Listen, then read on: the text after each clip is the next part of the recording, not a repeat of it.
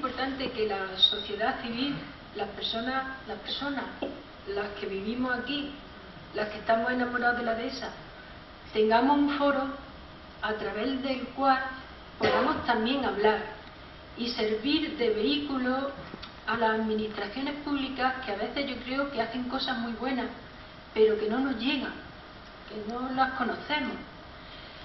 Entonces, el que estemos metidos en esta asociación sin ánimo de lucro, personas, personas de la comarca, yo creo que es bueno, porque quizás, podamos decirle a las personas que tienen en sus manos hacer herramientas para nuestra dehesa, como esta posible ley, que yo creo que, que puede ser muy buena.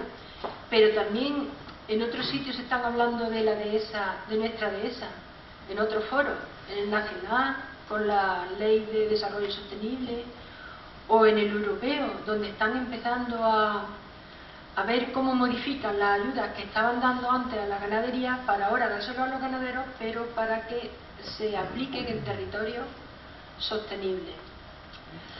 Eh, todas estas cosas que hablan los, los, políticos y que realmente tienen en sus manos los recursos, las leyes, nosotros debemos de participar.